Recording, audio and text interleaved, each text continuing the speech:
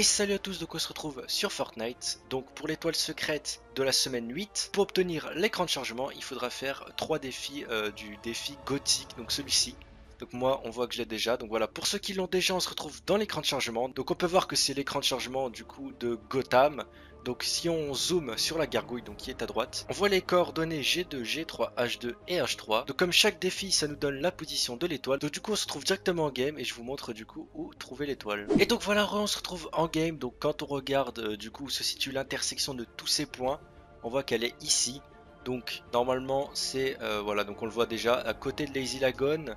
Donc il y a euh, Sunny Step qu'on peut voir juste à droite. Donc voilà c'est vraiment au milieu donc c'est la petite île au milieu.